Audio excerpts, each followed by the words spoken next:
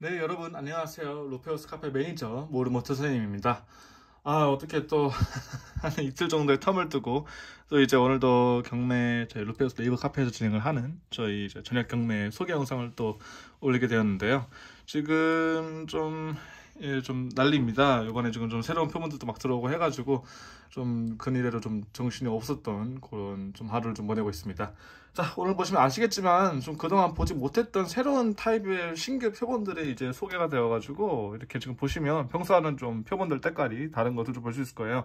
자, 오늘의 그 경매 테마는 무엇이냐? 오늘의 경매 테마는 이제 아, 좀 경매 가짓수가 그렇게 많지는 않지만 좀 타이, 좀 이제 좀 high quality의 미네랄들을 좀 소개를 할 수가 있는 그런 어떤 경매 장으로 좀 구성을 해봤습니다. 뭐 보시기에 뭐 이게 뭐 예, 어떤 quality일지는 뭐 모르겠지만 제 기준에서는 아 그래도 이만하면 좀 그래도 좀 나, 어느 정도의 그 좀 그레이드가 있는 그런 경매가 아닌가 그렇게 좀 생각이 드는 선에서 구성을 해봤습니다. 자 그럼 이번에 좀 소개를 해드릴 건데요. 지금 몇몇 개는 저도 지금 동정 중이어가지고 소개를 못 해드리고 있는 표본도 있어요. 그래가지고 최대한 좀 제가 확실하게 파악을 하고 있는 표본들에 대해서만 좀 소개를 해드리고 있습니다. 오늘 경매도 그런 식으로 이제 구성을 했고요.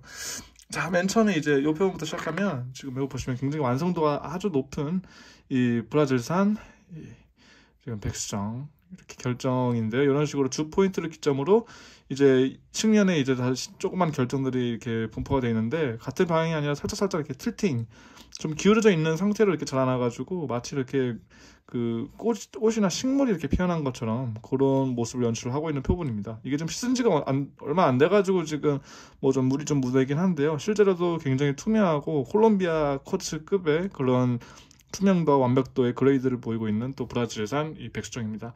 이게 브라질산 자수정이 싸다고 해가지고 또 이런 표본들이 또 저렴한 것도 아니거든요. 이게 또 막상 또 해외 직구를 뭐 알아보시면 아시겠지만 브라질산 표본들이 가격이 많이 올랐습니다. 그러다 보니까 이런 표본들도 뭐 이제 일반적인 백수정과는 또 가격 차이가 더 많이 나고 있고요. 그 다음에 지금 보면 굉장히 그 무슨 만든 것 같죠. 플라스틱 같죠. 약간 이런 식으로 굉장히 독특한 이 모습을 가지고 있는 이 표본은 이제 멕시코에서 산출되는 허니칼 사이트입니다. 말 그대로 이제 정말 꿀을 그대로 굳혀가지고 넣은 듯한 비주얼을 가진 돌이 바로 이 허니칼 사이트라고 할 수가 있는데요. 이런 식으로 이제 기존의 허니칼 사이트는 이거를 깨면 굉장히 단면부가 날카롭습니다. 그러다 보니까 이제 이거를 잘 polishing을 하고 해서 이제 이런 식으로 이제 palm stone 비슷한 느낌의 이렇게 절단면들이 되게 이렇게 두루뭉실하게 부드럽게 이렇게 넘어갈 수 있게 이런 식으로 폴싱을 한 그런 표본이 할 수 있겠습니다. 이게 굉장히 이게 지금 투과성도 되게 좋고 해서요. 이거 되게 인기 있는 표본 중에 하나입니다. 구하시는 분들이 좀 꽤 계셔가지고 이번에 저희 수입할 때도 좀 반영을 하게 됐습니다. 그 다음에 아 이 표본 요거는 좀 되게 생소하실지도 모르겠어요. 이게 지금 어, 파편이긴 하지만 굉장히 구하기 힘든 그리고 굉장히 고가에 또 거래되는 굉장히 희귀 광물 중에 하나입니다. 이게 지금 그 멕시코에 산출되는 그 아라고나이트인데요. 이게 blue aragonite라고 해가지고 이게 굉장히 푸른색을 띠고 있는 그 aragonite의 일종이라고 이렇게 알려져 있습니다. 그러니까 이 표본 같은 경우에는 이제 뭐, 뭐 smithsonite 뭐 비슷하게 생기고 뭐 그렇게 하기도 하겠지만 근데 지금 요 완벽한 클러스터 상태의 이 멕시코산 aragonite가 정말 가격이 어마어마하게 비, 비싸요. 그러니까 한 예를 들어가지고 요 판 정도 크기의 표본이다. 그러니까 제가 최근에 그쪽에서 이제 어퍼 받았던 걸로는 한 5,000불에서 7,000불 사이 그러니까 우리나라 돈 640만 원에서 한 860만 원 정도 그 정도 선 되겠네요. 그 정도 가격대 지금 거래가 되고 있는 그런 표본입니다. 그러다 보니까 이런 파편들도 자연스럽게 가격대가 또 올라갔어요. 그래서 지금 보시면 지금 해당 표본에서는 이런 식으로 아주 선명한 파란 그 색상과 더불어서 이런 식으로 이제 그 fibrous structure라고 하죠. 그 침상형, 섬유형 침상형의 결정들이 이런 식으로 이제 방사형으로 자라나고 있는 것을 또 볼 수가 있는 그런 표본입니다. 자, 그 다음에 요 표본은 이걸 보시고 딱 이제 아시는 분들은 아, 광물을 좀 오래전부터 좀 모아오셨구나 이렇게 좀 할 수가 있는 부분인데요. 이거는 지금 최근에는 안 나오고 좀 예전에 좀 소개가 됐던 표본이에요. 이게 베릴 버전의 이제 아쿠아마린 결정입니다. 이게 브라질에서 나오는 이제 B grade, C grade 등급의 이제 아쿠아마린들이 이런 식으로 산출이 되는데요. 물론 말이 그래서 그렇다는 거죠. 실제로 이런 결정들도 요즘은 이제 뭐 아시겠지만 요즘 또 화순 자수정이 또 인기 있는 것처럼 이런 식의 이제 뭐, 뭐 B grade라고 속, 그 속칭 B grade라고 하는 투명도가 떨어지는 결정들도 이런 식으로 이제 형태라든지 이런 것들이 우수하기 때문에 요즘 또 상당히 또 비싸고 인기 있는 그런 표본으로 알려져 있습니다.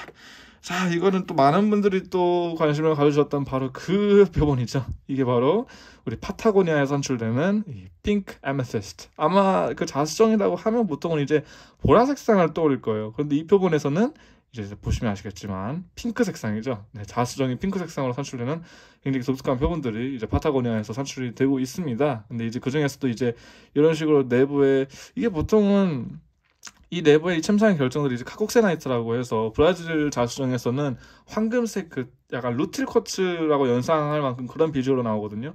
근데 여기서는 지금 이렇게 검은색 아주 시커먼 검은색으로 이렇게 이 cacoxenite가 이렇게 발전이 되더라고요. 이런 식으로 내부의 결정형에 이렇게 침상의 결정들이 잘 관찰이 되고 있는 파타고니아산 이 어, pink amethyst 이렇게 또 소개를 해드립니다. 자, 그다음에 요것도 지금 되게 아주 비싼 표본이죠. 우리 호주에서 주 산출되는 그리고 인터넷에서 이제 아주 가장 아름다운 광물 결정이라고 하면 이제 소개가 되는 바로 boulder opal 이제 boulder opal이라고 우리가 흔히 부르는 그런 표본입니다.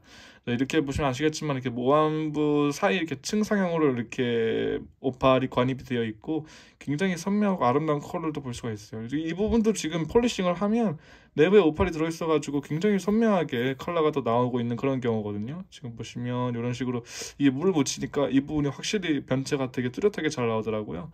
이런 식으로 이제 좀 굉장히 한정적이지만 아주 선명하고 아름다운 색채를 가지고 있는 볼드 오팔인데요.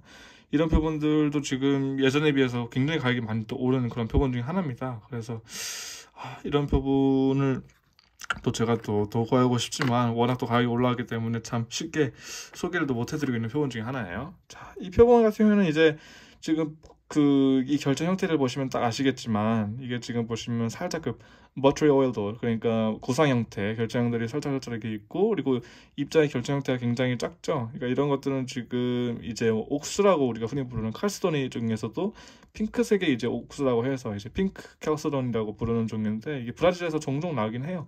이게 큰 달걀만한 사이즈로 이제 구형의 결정체로 나오는 것들이 보통 이제 우리가 하나에 3, 400불씩 하는 미네랄쇼에서 보는 그런 표본이 되고요. 뭐 이런 식으로 이제 작게 나오는 표본들은 그나마 좀 저렴한 가격대에 그래도 소개가 되고 있지만 여전히 또 높은 가격대에 또 거래가 되고 있는 그런 표본이라고 할 수가 있겠습니다. 자, 그다음에 아, 이 부분 너무 이제 이 균형미라든지 이제 구성이 굉장히 좀 알찬 표본이죠. 이 위에는 이게 이게 이렇게 요 표본이면 이거 아르바이트일 거예요. 아르바이트에다가 지금 요 밑에 어, 갈레나가 이렇게 딱 붙어 있는 그리고 여기도 수정도 좀 살짝 보이고요. 이거는 지금 제가 알기로는 이게 이탈리아나 불가리아 아마 그쪽에서 나온 표본일 텐데요. 지금 뒤에 보시면 흥철 속도 좀 붙어 있네요. 이런 식으로 이제 굉장히 그 해외 미나쇼에서 나올 법한 정도의 퀄리티의 이제 갈레나와 알바이트의 조합 이렇게 딱 결정이 돼 있는 그런 표본이라고 할 수 있겠습니다. 정말 멋지지 않나요? 딱 이런 식으로 이제 검은색과 하얀색 흑백의 이제 대비가 아주 선명하게 또 이루어져 있고 그리고 우선 일단 이 결정 자체도 너무 또 굉장히 그 이색적인 어떤 광물의 어떤 그런 본연의 그 매력이라고 할까요? 그 멋을 또 그대로 또 여과 없이 보여주고 있는 표본이어서 상당히 또 매력이 있는 그런 표본이라고 할 수가 있겠습니다. 자 이번에는 자 이 작지만 굉장히 무시무시한 친구죠. 작지만 굉장히 검색을 해보시면 굉장히 또 귀한 대접을 받고 있는 친구입니다. 자, 이 표본은 이제 멕시코에 산출되는 wulfenite. 이제 전 세계적으로도 이제 좀 희귀한 광물에서 속하고 굉장히 또 인기가 있는 그런 표본에도 속하고 있는 표본이 바로 이 wulfenite인데요. 이거 좀 들어보시면 아셨을 거예요. 아마 그 별연석 카페에서도 예전에 한번 요 wulfenite 큰 cluster가 하나 들어왔었어요. 저도 야 보고서 야 저거 진짜 저 보기 힘들다는 건데 저거를 또 우리 대표님이 구하셨네 그렇게 생각을 했었던 적이 있는데 저는 뭐 그 정도까지는 깜냥이 안 되므로 이렇게 작은 결정 하나로 이렇게 좀 만족을 해볼까 합니다. 이런 식으로 굉장히 좀 좀 보기 드물고 그리고 굉장히 또 약한 결정이긴 하지만 굉장히 또 선명하고 아주 아름다운 그런 색상을 또 가지고 있는 게 이 멕시코 소노라저에서 나오는 울페나이트 결정이 아닌가 싶습니다. 굉장히 희귀 표본에 속해 있는 경우고요. 자, 이 표본도 이제 요게 듀랑고 아마 치와와 아마 그 그 중 뭐 그 둘 중에 하나에서 나오는 걸 거예요. 요거는 이제 이 결정은 뭐 그 이전에도 저희가 이제 카페에서 소개를 해드렸던 굉장히 진한 아주 깊은 색상의 뭐 보라색 아니면 이제 코발트 색상을 가지고 있는 이제 멕시코 fluorite 형석 결정인데요. 이런 식으로 표면이 굉장히 뭐랄까 약간 외계 기술로 만든 것 같은 반도체 기판 같은 느낌의 결정형들이 이렇게 딱 남아 있는 게 특징이에요. 이거 물기를 좀 더 없애가지고 한번 보여드리자면 굉장히 이게 무슨 기계로 만든 것 같죠. 레이저로 깎아가지고 각인을 해가지고 만든 것 같은 그런 느낌인데 더 놀라운 거는 이 결정에다가 이제 빛을 이제 강한 빛을 추가를 시키게 되면 아 보이시나요? 이 맛이 바로 이 멕시코 fluorite의 매력이 아닌가 싶습니다. 정말 아름다운 이 비투가를 보여주고 있는 표본이어서 어떤 이런 또 조명을 어떻게 하냐를 또 고민을 하게 만드는 그런 표본인 것 같아요. 확실히 이렇게 하는 것보다 조명을 잘 해가지고 정말 보는 사람들마다 탄성을 내줄 수 있게 하는 그런 표본으로 또 구성을 하는 거는 또 천지 차이니까요.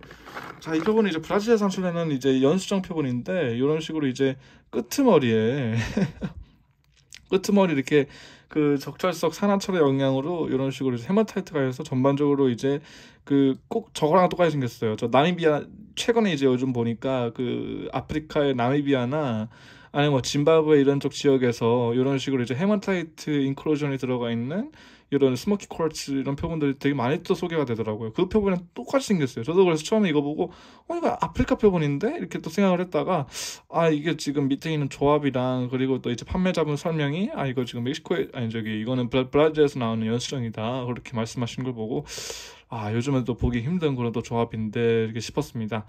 그 열수 그 저기 어 그 이거 지금 연수정 같은 경우에는 모리안 같은 경우에는 이제 방사능 처리를 통해 가지고 검은색을 이제 좀 더 증감을 시킨다고 하는데 해당 부분에서는 이제 그 방사능 처리를 하지 않고 이런 식으로 이제 그 일반 연수정과는 다르게 또 빨간 이제 hematite가 이렇게 또 겉표면에 또 되어 있는 그런 표본이라고 할 수가 있겠습니다.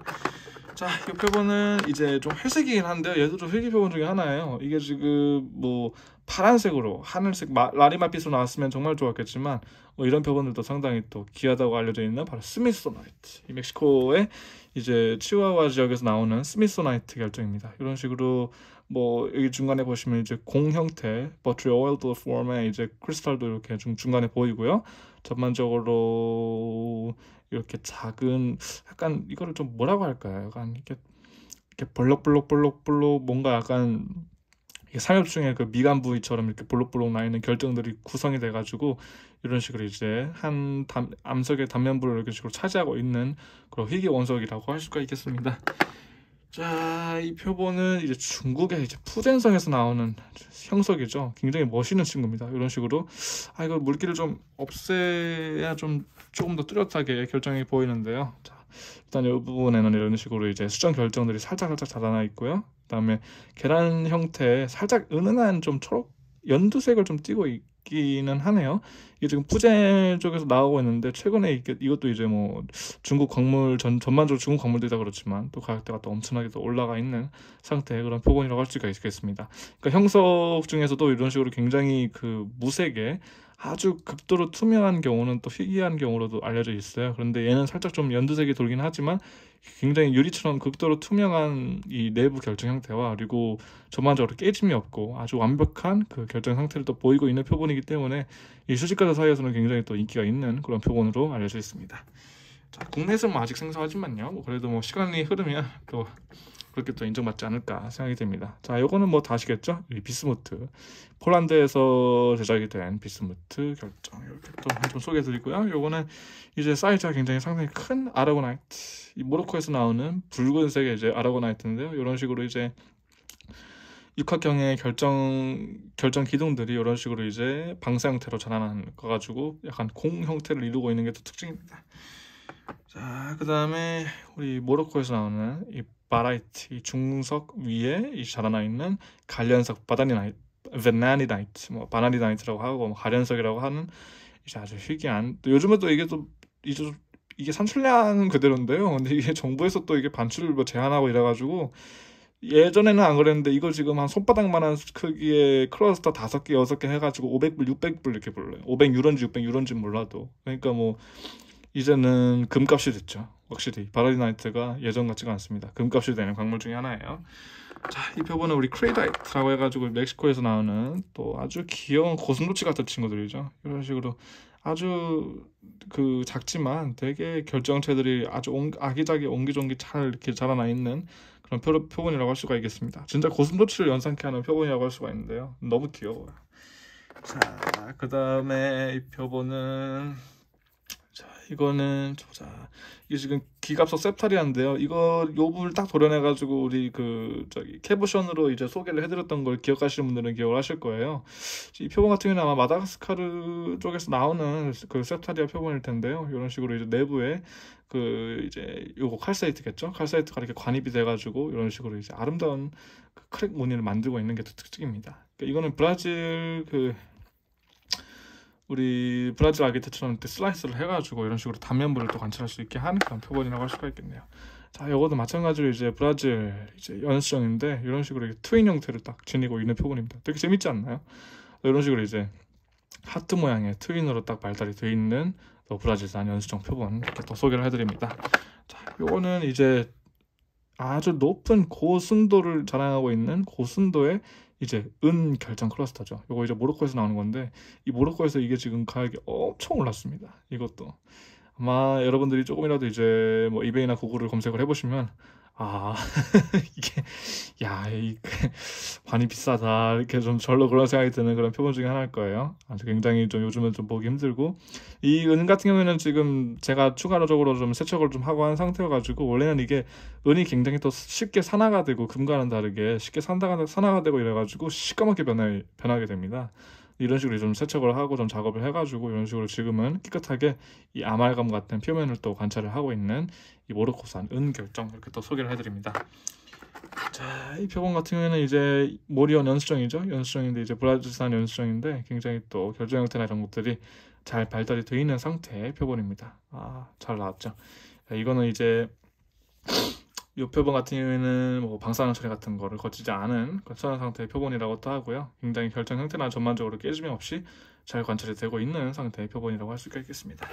자 마지막으로 소개를 해드릴 표본은 이제 그 멕시코에서 산출되는 표본인데요. 자이 표본에서 이제 좀 뭔가 희한한 게 있다라고 좀 아마 보시면 뭐 보시는 분이 계실 거고 아, 뭐 그냥 뭐 똑같다 이렇게 보시는 분들도 계실 건데 지금 보시면 작은 이런 백수정 결정들 틈 사이에 뭔가 좀 남다른 이색적인 아이들이 몇 개가 좀 들어가 있을 거예요. 자, 이 보시면 하나, 둘, 셋 이렇게 큰 결정들이 붙어 있죠. 그러니까 이 결정 같은 경우에는 지금 이게 음...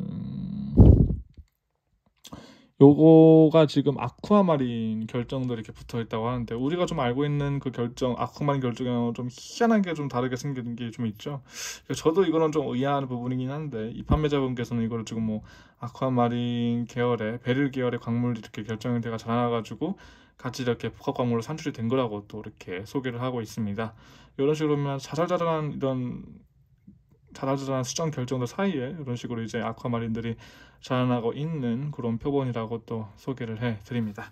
자 오늘 경매 소개 이렇게 한번 간단하게 좀 정리를 해봤고요. 자 저는 이제 사진을 좀 예쁘게 잘 찍어서 이제 조금 있다가 있을 오늘 저녁 9시에 진행이 되는 우리 루페우스 네이버 카페 정규 경매에서 한번 표본들 경매를 좀 진행을 해보도록 하겠습니다. 관심 있으신 분들은 네이버 검색창에 루페우스 검색을 해 보시면 바로 제일 상단에 뭐 저희 이제 뭐 스마트 스토어, 뭐 블로그, 카페 이렇게 뭐 노출이 되는데요. 그 중에서 카페 가입하셔서 바로 경매 참여해 보시면 아주 좋은 경험 될 거라 이렇게 자신하고 있습니다.